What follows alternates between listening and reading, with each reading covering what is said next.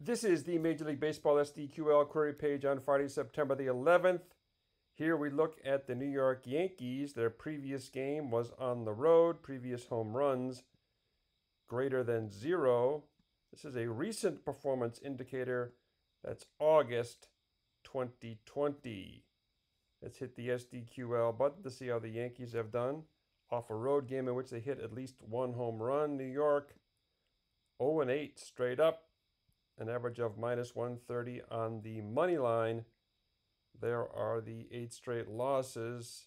Yankees not scoring a lot of runs in this situation. Recently, if you look at the last seven games, they scored three runs three times, one run three times. That's 12 total runs in seven games. That's one and five sevenths. Five sevenths is 0.71.